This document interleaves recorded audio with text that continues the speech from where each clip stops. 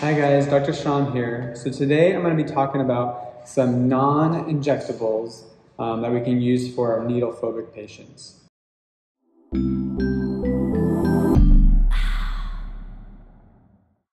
I'm mainly going to be talking about those non-injectables that are going to help with gingival discomfort for those non-major uh, treatment procedures. All the other major treatment procedures, then there's going to have to be some sort of injection, that can, or sometimes not, but I can go over some possibilities with those as well. So the first one is going to be called UltraCare, which is a 20% benzocaine product, and it's going to be introduced into the periodontal pockets using a um, specific tip. Now, if you want to place it on the mucous membrane, then you're going to be using a swab technique. Now, this is indicated for minor irritation and minor dental procedures. It does have a rapid onset, um, and the duration is about 8 to 10 minutes.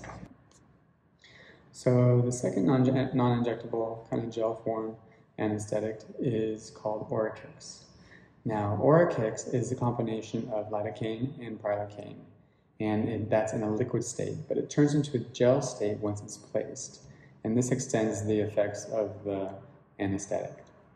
Now, the Oraqix requires a special applicator, and it uses a metal and much wider um, tip for placement. Now, the combination of the lidocaine and prilocaine is what gives us its onset, fast onset within about 30, 30 seconds, and a duration of approximately 20 minutes.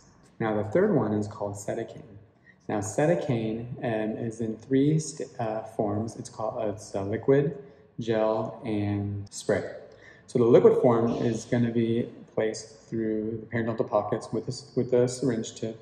Now, this onset is going to be extremely like immediate, and so and duration um, is a little bit longer. So it's actually going to allow us to do more of our deep SRP cleaning. So the, on, the duration is about 30 to 60 minutes that it'll last, so that's great.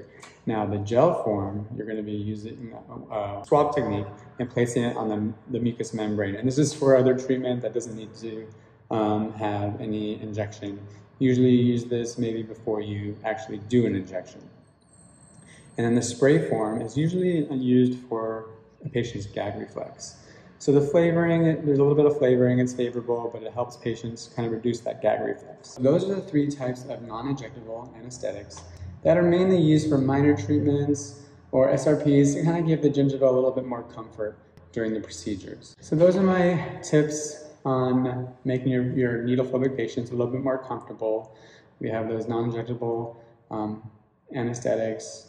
We have um, some laser dentistry, we have certain types of sedation. But what it comes really down to, um, and I've actually never had to use stronger topicals or anesthetics than what I use now, it's about really making the patient feel comfortable, talking them through the procedure, maybe wiggling their mouth a little bit, making sure they're not thinking about the needle and trying to go around that aspect.